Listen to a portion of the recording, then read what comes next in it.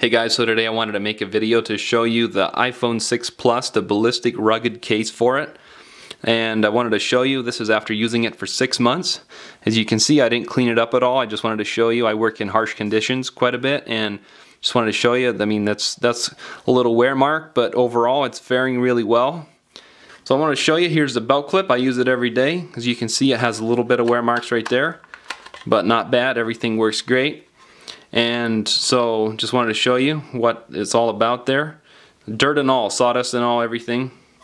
So we'll go ahead and show you that and go ahead and take it apart here.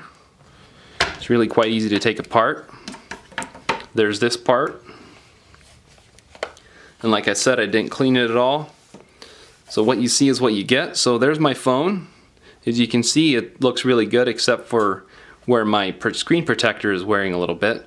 But I have a screen protector front and back. And so just wanted to show you here. Everything looks really good still.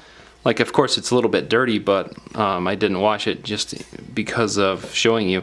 So you can see the headphone jack is still hanging in there just fine. The charging port is hanging in there just fine.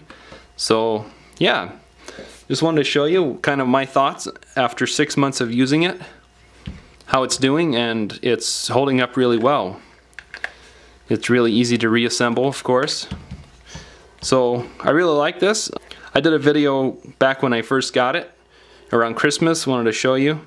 And now that I've had it for six months, I wanted to show you kind of just what it's all about, uh, how I'm liking it so far. And there's my iPhone 6 Plus, and you can see it's, it's protecting it really well. I've dropped this phone quite a few times. And we'll go ahead and show you the belt clip there as well. And so if you're interested in this case, I'll include a link in the video description where I found it for the best price if you want to check it out. And I'll pass that along to you guys. And just let me know your thoughts. If you have had one for a while, let me know how it's holding up for you. I'd be interested in knowing. So, so far, this is the best case I've had for this phone. All right, good luck, guys. Thanks for watching.